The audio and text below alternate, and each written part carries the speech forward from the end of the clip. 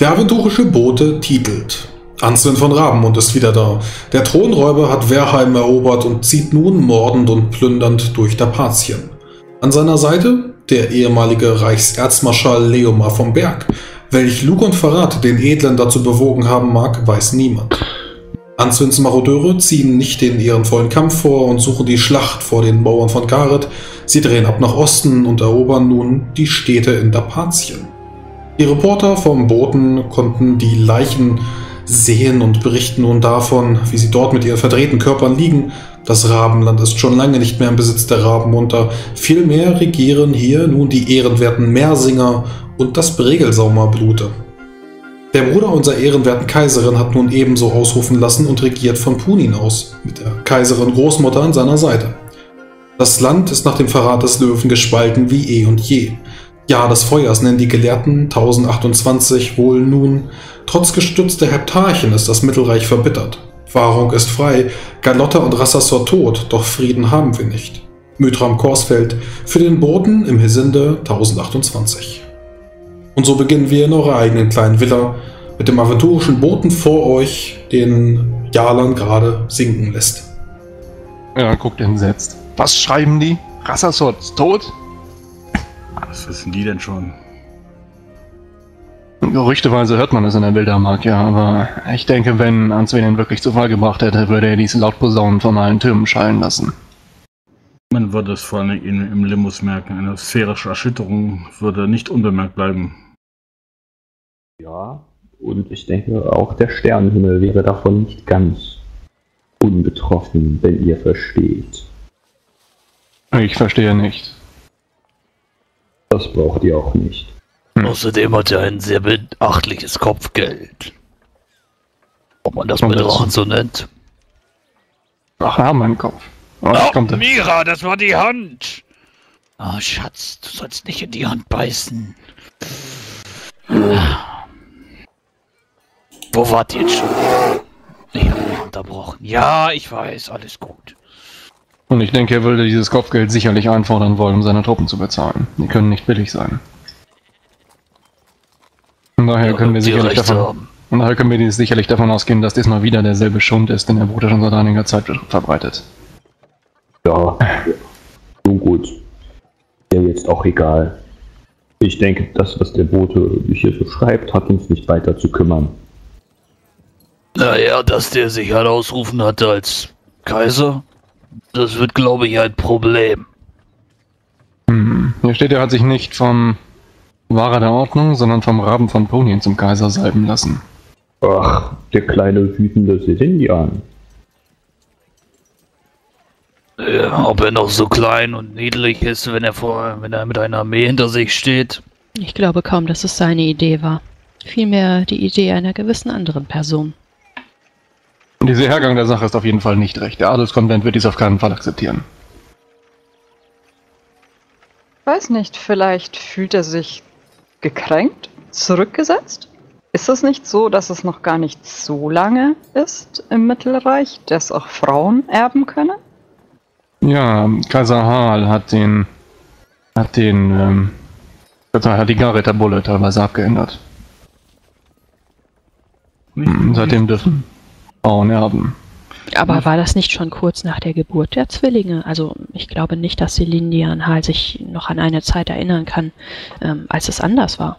Nun, es gibt die, die auf dem Standpunkt stehen, dass da die Änderung erst nach seiner Geburt vollzogen wurde, er trotzdem der legitime Erbe ist. Hm. Ja. Vor, allem, vor allem natürlich in seinem Geburtsort in Braunklamm, aber auch in, sagen wir, den eingesesseneren Teilen von beiden. Und der Rabe von Pudin hat ihn jetzt irgendwie dazu ausgerufen. Ich dachte, also das war doch der alte Mann, den wir kennengelernt haben in Punin in dem Tempel. Das muss eine jener. Fehlmeldung sein. Also der Rabe von Punin würde sich doch niemals in politische Belange einmischen. Was nicht, der Selindianwall? Es wäre nicht gerade ein Akt der Deeskalation, oder? Der junge Selindian war lange sein Schützling. Vielleicht wähnt er in ihm einen von Boron Gesandten. Wir können nur raten, denn nach Punin zu reisen ist jetzt wohl zu lang und, und der Bote schreibt nur schon, wie ihr seht. Offensichtlich, offensichtlich. Was mich mehr beunruhigt, ist, dass das Volk in Dapatien Answin teilweise Kaiser heißt. Von ihm selbst habe ich keine Verlautbarung mitbekommen. Aber die Leute scheint das nicht zu interessieren. Ich kann mir nur vorstellen, dass dies unsere zwölfgöttliche, zwölfgöttliche habende Kaiserin zur Weißglut bringt. Na, ihr wir könnt euch mal überlegen, wer diesen Boten in Auftrag gegeben hat, so wie es geschrieben ist. Könnten auf einen weiteren Bürgerkrieg hinzusteuern. Ich gehe davon aus, dass der tapathische Bulle in Dapatien ganz anders. Ich glaube, dass der gar nicht sowieso gedruckt wird, aber äh, wenn es einen, wenn es noch Redakteure vom tapathischen Bullen gäbe, dann würde der anders titeln. Von Redaktion, von den Reaktionen weiß ich nichts, aber die Druckereien in Gallis laufen nach wie vor auf Hochbetrieb. Er hat sie gerettet vor was auch immer da noch rumläuft. Kann man es den Leuten verdenken? Meiner Meinung nach sollte es solche Presse gar nicht ohne die Zustimmung der Kirchen geben. Die eine oder andere Weise, ihn zum Kaiser zu wollen, ist eine Sache, aber ihn als Kaiser zu rufen, ist eine ganz andere. Das grenzt schon an Verrat. Aber was tut das dieser Tage nicht? Nun, ich denke, vielleicht sollten wir das zu einer anderen Zeit, an einem anderen Ort genauer diskutieren. Jetzt können wir ja sowieso nichts daran ändern. Ich denke, niemand von uns hat jetzt vor, zu Answen hinzugehen und ihm zu sagen, lass das mal lieber. Wir haben schon größere Übel zu Fall gebracht. Was haben wir denn jetzt vor? Die Zeit der Erholung war sicherlich gut. Oh ja, definitiv. Ach, es war so schön, einmal wieder vernünftige Zwerge zu treffen und bei lange Sternnächte ähm, Ratschläge zu halten. Und ah ja, ich habe viel zu lange schon keine Geoden mehr gesehen, aber hm, Also Ja. erholsam war der Aufenthalt in der Mark leider nicht. Answins Triumphzug hinterlässt doch viele dunkle Flecken. Auch er kann nicht überall sein. Vielleicht sollten wir bei der Kaiserin vorstellig werden und nun unsere, unsere, unsere Hilfe anbieten, um gewisse Auskünfte über Answen zu erhalten, was er so treibt und was er nicht treibt. Und wenn sie uns schickt, Answin zu meucheln, was tun wir dann? Dann liegt es an uns, ob wir diesen Auftrag annehmen oder nicht. ähm, haben wir überhaupt eine Wahl, wenn wir schon fragen, oh, äh, Ohaya braucht ihr Hilfe und sie sagt, ach ja, dann ähm, tötet Ansehen. Nun, glaube, solange, dann sie uns haben wir kein, keine solange sie uns keinen Befehl erteilt, müssen wir keinen Befehl folgen. Wenn wir bei ihr vorstellig werden, wird sie dies aber wohl tun und dann können wir nicht mehr guten Gewissens verweigern. Außer natürlich, eine solche Anweisung würde dem guten zwölfgöttlichen Recht zuwiderlaufen. Nun, Rassasso ist auf jeden Fall noch am Leben. Wir sollten uns Gedanken darum machen, wo er sein könnte und wie wir ihn zu fassen kriegen. Und ich gehe auch nicht davon aus, dass Answin, auch wenn es hier im Boden so steht, äh, sein eigenes Volk niederschlachtet. Er hat reichlich äh, Marodeure und Baktiere aufknüpfen lassen. Diese Zeichnung, die ihr da seht, ist, soweit ich weiß, äh, authentisch. Nun ja, ist Naja, aber es hat, es hat schon seinen Grund, dass er nicht nach Garat gegangen ist, sondern nach Dapatien, denn in Dapatien sitzen weitere Nekromanten und äh, die, die ehemaligen Schergen von, von Galotta, also. Selbstverständlich, ich will es ihm auch gar nicht absprechen. Albuin ist auch ein sehr großer Freund seiner Bestrebungen, wenn die beiden sich auch auf, sagen wir, anderen Ebenen uneins sind. Ihr wart also schon wieder bei Albuin. Ich muss, er ist mein Herr.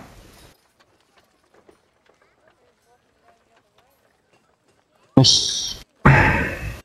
Ich bat ihn um Rat, wie die Lage mit der Kirche aufzulösen sei, aber er scheint seine Gedanken derzeit näher an der Patien zu halten. Ich wollte, ich hatte euch ja erzählt vor einigen Monaten, dass es sich vielleicht lohnen könnte, ins Greifengras aufzubrechen, aber die Jahreszeit macht dies zu einem Wunschtraum. Vielleicht werde ich in den Sommermonaten dazu kommen. Ja, so eine Reise ist immer erquickend.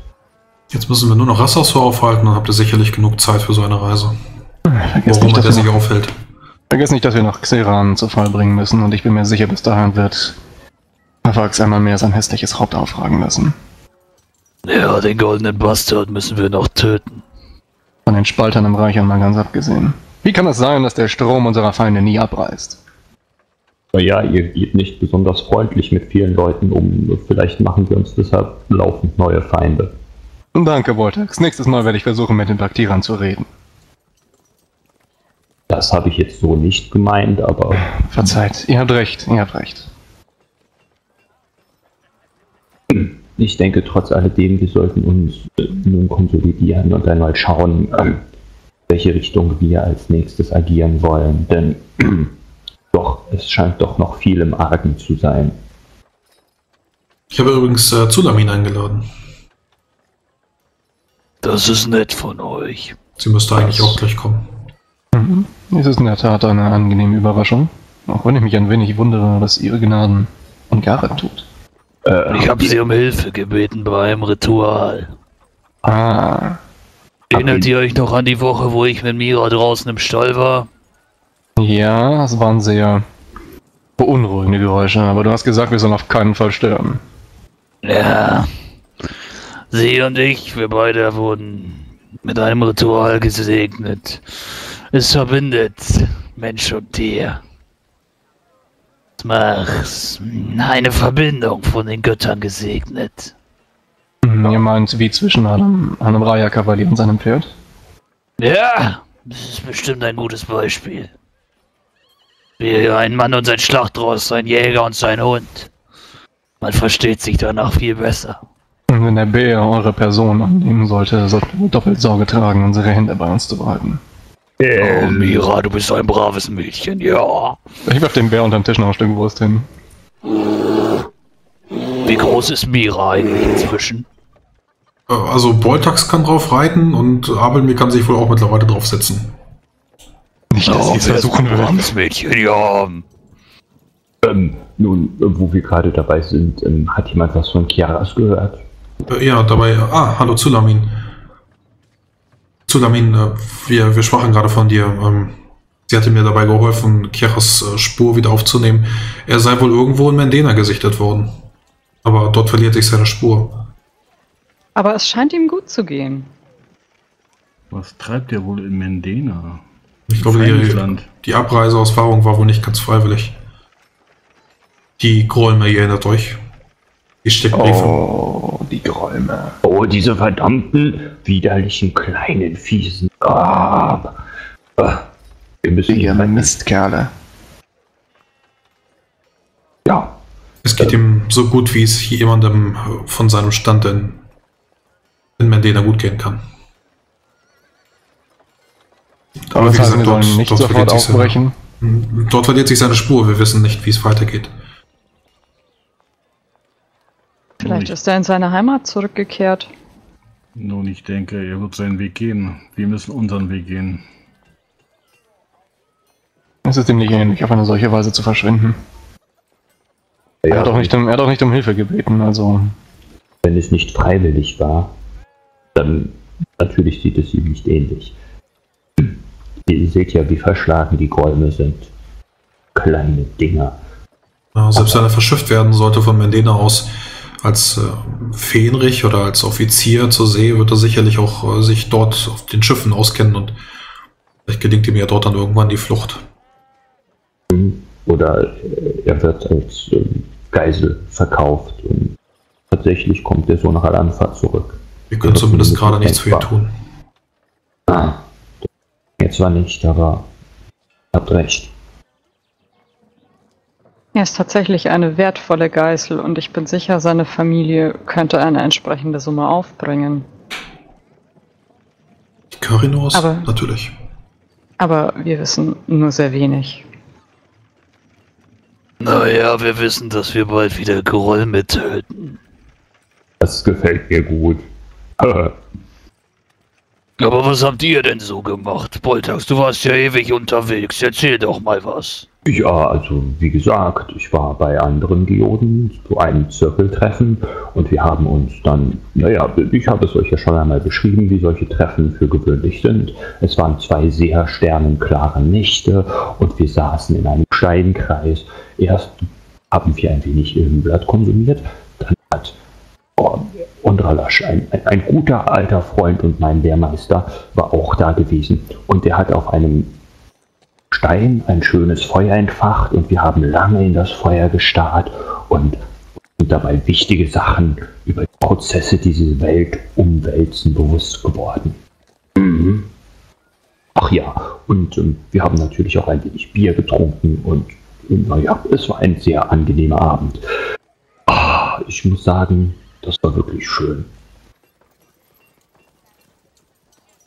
Ja, aber Klingt nett. das war's, das war's. Isaron, was habt ihr denn gemacht? Ihr seid ja ständig durch die Stadt getigert. Was glaubt ihr, wie viel zu tun war nach diesen ganzen Reisen und äh, Erlebnissen? Also von, vom, vom Hesinde-Tempel, also Pentagon-Tempel bis zur Akademie, dann zur anderen Akademie. Es war ein furchtbares Hin und Her. Und dann hatte ich noch eine Audienz in der Stadt des Lichts wegen äh, dieser Bücher und so. Naja, das muss ja auch alles gemacht werden. Zum Glück bin ich aber letzte Woche zur Totenmarder dazu gekommen, endlich mein Bandschwert zu weihen. Oh, zeigt mal her, zeigt mal her. Kann man Schaut was mal das sehen? gute Stück. Mhm. Oh, bisschen kurz vielleicht. Ja, dein Arm ist auch nicht so lang. Das sieht hervorragend aus. Hat Eisinger es geschmiedet? Mm, Ja, ja, ja, ja. Liegt gut in der Hand. Ja, nicht wahr? Also, man könnte fast meinen, es sei, naja, fast ein Zwilling äh, meines anderen Schwertes. Stammen ja auch aus der gleichen Schmiede und vom gleichen Schmied. Ja, der Eisinger soll gut sein.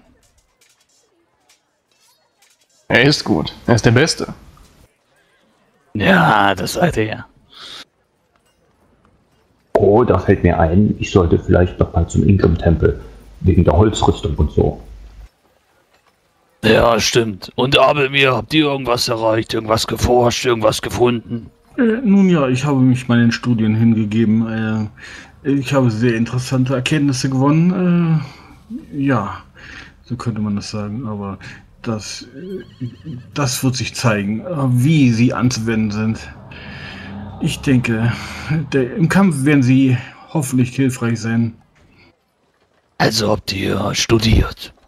Äh, in der Tat, äh, das Bücherstudium ist mir wie ein Gottesdienst, könnte man sagen.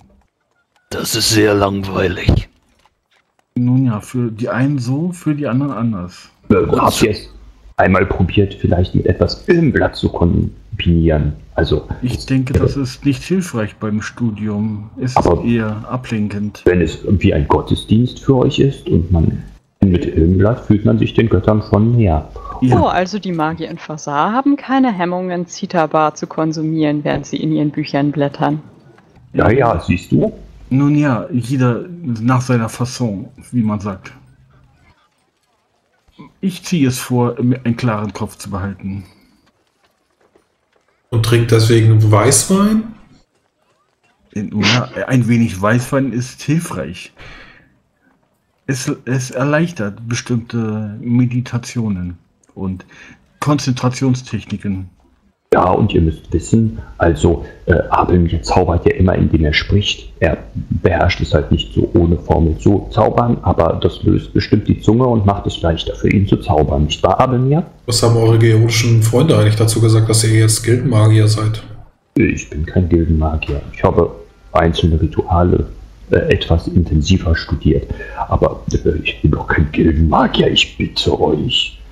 Ah, Es ist natürlich durchaus interessant, Gildenmagie einmal von dieser Warte zu betrachten und vielleicht werde ich mir eines Tages einmal die Zeit nehmen und mich hier etwas Habt ihr mir nicht noch erzählt, äh, als wir auf dem Weg wieder zurück waren, dass ihr Saldor Fosterin bedauert habt, weil er Gildenmagier geworden ist und jetzt tut ihr es ihm selber so nach?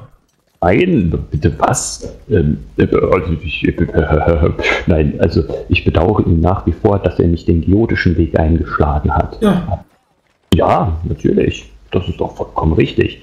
Aber ich würde nie meine geodischen Pflichten in irgendeiner Art und Weise zurückstellen hinter etwas anderem. Aber auf der anderen Seite muss ich schon sagen, dass ich mich ja durchaus auch in nicht ganz so, naja, hervorragende Prinzipien der Magie einarbeiten kann. Man möchte ja über den Tellerrand hinausblicken, nicht wahr? So engstirnig wie andere bin ich nämlich nicht. Hm. Geoden sind ja schließlich auch Seelsorger. Und Ja, ja. dass ihr ein paar gildenmagische Zauber gelernt habt, wird dem ja keinen Abbruch tun. Nein, nein, genau. Ihr könnt nun profitieren von unserer Expertise, die wir in der Gilde gesammelt haben. Nun, äh, Boltax, ich würde mich natürlich nach wie vor freuen, wenn ihr der Gilde beitreten wolltet. Immerhin ist die Elementarmagie in der Weißen Gilde nicht wirklich vertreten. Und ich denke, euer Ansatz mit dem äh, Großmütterchen Sumo lässt sich durchaus mit den zwölf Göttern vereinbaren.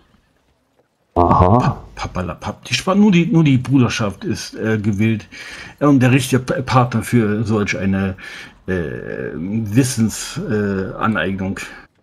Nun, wenn ihr die- der Bruderschaft beitretet, erspart ihr euch jedenfalls eine ganze Menge Auflagen und Einschränkungen. Seht ihr? Seht ihr? Aber ich will doch keiner Gilde beitreten. Das ist doch. Ich bin ein Geode.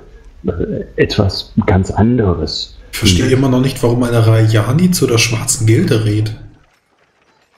Sie kann doch raten, zu was sie will. Ich denke, wir sind alle freie Menschen oder Zwerge. Hm? Ähm, aber ich finde es trotzdem irgendwie immer noch befremdlich, dass es drei Gilden gibt, obwohl alles Gildenmagie ist. Das, Nun ja, die einen sind etwas rückständig und die anderen etwas fortgeschrittener. Ihr müsst das verstehen. Ihr seid doch nur sauer, weil ihr rausgeworfen wurdet. Äh, nein, ich, ich trat freiwillig aus der Gilde aus. Mehr oder weniger. Mhm, ja, mehr oder weniger. Und Nun wisst ja, ihr, Savo, die schwarze Gilde war bis vor kurzem die einzige Art Magier, die ich kannte. Es ist für mich immer noch sehr fremd, Vertreter der anderen Gilden zu sehen mit ihren so fremdartigen Einstellungen. Naja, dann könntet ihr auch sagen, dass euch Mauern fremd sind, weil Versag keine Mauern hat. was? Hazard hat keine Mauern? Naja, gut, das Zwergenviertel, irgendwann haben die Zwerge beschlossen, dass sie um ihr Viertel eine Mauer ziehen, aber ansonsten ist Fasar selber äh, ohne Mauern. Äh, Seht ihr? oh, also Fasar hatte Mauern, aber es wurde sehr oft eingenommen und irgendwann hat man sich einfach nicht mehr die Mühe gemacht, es, sie wieder aufzubauen. Denn alle wichtigen Leute sitzen ohne, ohnehin in den Aborja und die Erhabenen kümmern sich wenig darum, wenn eine feindliche Armee durch die Gosse hindurchfegt. Naja, trotzdem, ihr lehnt ab. Also, ihr kennt zwar keine Mauern, aber trotzdem. Auch, auch wenn es bei euch keine Mauern gibt, so erkennt ihr dann trotzdem diese hier an. Auch wenn es bei euch keine weiße oder graue Gilde gibt. So. Versteht ihr, was ich sagen will?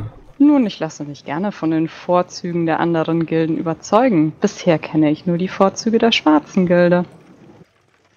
Der Codex Albyricus erleichtert die Dinge beim Zaubern. äh, nun ja, ihr, ihr gehen zurück auf Hochheil den Weisen. Aber die Freiheitsbeschränkung, die ein damit einhergehen. Ich kenne sie aus erster Hand, diese Beschränkungen in der Forschung. Ja, Oh. furchtbar, wenn man sich von göttlichen Geboten in irgendetwas beschränken nein, lassen nein, nein, muss. nein, Mhm. ich, ich rede von den gildenmagischen Vorschriften der Weißen Gilde. Das klingt ja furchtbar kompliziert. Ja. Genau so etwas haben wir bei den Geoden nicht. Und Wenn man für jede Forschung äh, drei, drei Unterschriften leisten muss und äh, Forschungsgelder beantragen muss und. Was und, habt und, ihr denn schon für Forschung geleistet? Also mal ganz ehrlich, Abelmir. Äh, Habt ihr mittlerweile eure Magisterarbeit geschrieben, habe mir? Äh, noch nicht. Äh, ich hatte noch keine Zeit. Gewiss. Gewiss. Hatte Isaron auch nicht. Sie hat es trotzdem getan. Nun, das ist jetzt aber, finde ich, wirklich etwas, geht es doch weit weg von dem Thema, was wir ursprünglich besprochen haben. Ich wollte eigentlich auch etwas Positives über die Gildenmagie sagen, denn ich muss schon sagen, ich bin schwer beeindruckt von euren Stäben. Die sind richtig klasse. Sind die nicht nur ein bisschen groß für deine Verhältnisse? Ja, ich, ich meine ja auch eher prinzipiell die Idee, die hinter diesem Stab steckt. Und das ganze magische Zusammenspiel der Rituale, wie sie ineinander greifen, es ist furchtbar faszinierend. Das Beste von allem. Nun, in diesem Fall kann ich nicht widersprechen. Also gut, kommen wir wieder zurück auf diesen Boten, der vor uns liegt. Was machen wir jetzt? Ist das etwas, was, was wir machen oder lassen wir jetzt ein paar andere Helden heran? Könnte mir schon vorstellen, dass ich mich mit dieser Runden hier noch äh, einen Monat um den kümmere. Ich könnte mir Heißt das so in der Hissende Kirche? Um den Tempel kümmern? Ja, Rafim, so heißt das. Offensichtlich, Ah. offensichtlich. Äh, Vielleicht sollten wir uns äh, auf das Geschehen in äh, Wehrheim und Umgebung kümmern, äh, unter Augenmerk richten. Vielleicht sollten wir wirklich einmal Ohaya aussuchen. Wir sollten ja. Wir sollten einen Boten hinschicken und eine Audienz beantragen. Man wird uns zu gegebener Zeit dann vorladen. Die Frage Denkt ist, ihr- versuchen wir gerade einen Thronfolgestreit zu lösen oder kümmern wir uns um, nun ja, die besetzten Gebiete. Niemand von uns hat genügend diplomatische Expertise, äh, vielleicht abgesehen von Boltax in seinen langen Lebensjahren, um sich um die Thronfolgekrise zu kümmern. Wir haben allerdings militärische Probleme, immer noch. Um die können wir uns kümmern. Dafür haben wir die nötige Expertise. Ähm, ich denke auch. Mal mein Vorschlag damals, wie wir mit dem Hokersreich zu verfahren hätten, ja von Abel mir so abgeschmettert worden ist. Ich bin mir sicher, ihre Ja. kaiserliche Majestät wird schon wissen, wie sie uns am besten einzusetzen gelingt. Ich Also mir auch. wird hier langweilig. Können wir bitte irgendwas tun? Ich Ja, und diese Großstadt ist auch nicht wirklich ein Ort für einen Eisbären. Lass mein Eisbären in Ruhe. Brave Mira, ja, da hast du die Hand gebissen. Ja, wer ist mein Engel? Ja, Mira ist mein Engel. Äh, Rafim, äh, doch nicht diese Hand. Ihr habt doch. Ihr habt doch geübt, mit dieser Axt zu kämpfen. Ja, die Scheiße in der Hand ist total unordentlich. Scheiße gefährdet. Ich weiß nicht, wer das war, aber der braucht dringend aufs Maul. Äh, ich Das glaube, war es ein war ein Troll. Troll. Dann braucht ein Troll dringend aufs Maul. Nun ja, aber irgendwer Plan. muss dieses Ding führen. Ja, ich krieg das schon dahin geworfen, aber er Wir werfen keine Kunststücke. Äh, ihr müsst es nicht werfen. Und du haust auf den Karfunkel. Äh, richtig, wir müssen die Kugel in der Nähe halten. Sie verhilft äh, Knadukas zu ihrer Treffsicherheit. Ja, dann bist du mit dem Umgang mit der Lanze weiter geschult. Selbstverständlich. Hast du beim König der Ritter weiter trainiert. In letzter Zeit nicht, nein. Auch ein König. Ein echter König. Nur ein Titel. Ah. Ich verstehe.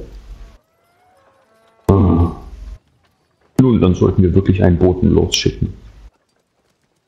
Ich würde dann irgendwie kurz Schreiben aufsetzen, äh, um, mit einer Bitte ähm, um kurzfristige Audienz bei sei- ihrer König, königlichen, kaiserlichen Majestät. Kaiserliche Majestät. Kaiserliche Majestät dann. Soll ich jetzt diese komische Schärpe anziehen? Wenn du Wenn, möchtest. ihr- wenn ihr wollt. Zumindest wäre das ein geeigneter Anlass. Ihr habt doch alle gesagt, hier für so offiziellen Scheiß wäre die gut. Ganz recht. Die liegt immer nur auf meinem Bett rum. Dann zieh ich sie an. Hey, wisst ihr, was noch ganz toll ist, wenn Du wir könntest ja auch Mira anziehen. Untersteh Oh. dich. Wir brauchen noch eine für Mira. Vielleicht soll ich was anfertigen lassen. Hat der Bär denn mitgekämpft? Schnauze. Kann man Bären tätowieren? das geht bestimmt. Aber Ey, das wird dem Bären wehtun. Ich werde den wohl vorher rasieren müssen. Ah, das ist ja unpraktisch. Hm. Ja, ja, aber Bären haben blaue Haut, wusstet ihr das? Nein. Blaue Haut. Blaue Haut?